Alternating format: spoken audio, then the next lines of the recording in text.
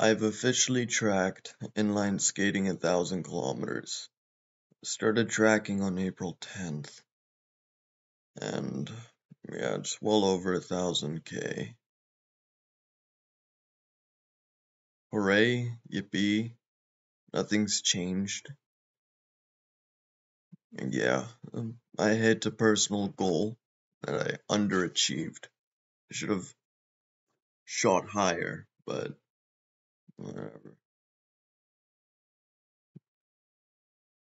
Who cares though?